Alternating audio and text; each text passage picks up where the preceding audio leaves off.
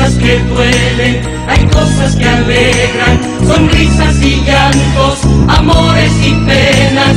Lo bueno de todo es que todo pasa por este canal.